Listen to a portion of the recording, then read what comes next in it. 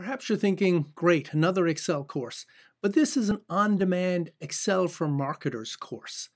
If you're spending way too much time every month, or your team is spending the time trying to pull together the data for marketing reporting, this course is for you marketing reporting in Excel has some unique challenges. We get a mix of text and numbers from the various sources like Google Analytics, our syndication vendors, or from our marketing automation and CRM systems. And we're expected to pull that together quickly, monthly, weekly perhaps, into nice cogent reports.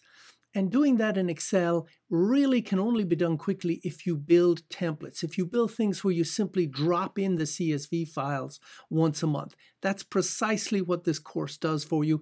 And the entire course is built on that marketing data from the various marketing automation systems, BrightTalk, surveys, Google Analytics. So you will get the workbook with all of the examples we used in the course. And you'll develop the skills so that you can do the reporting in minutes every month instead of days.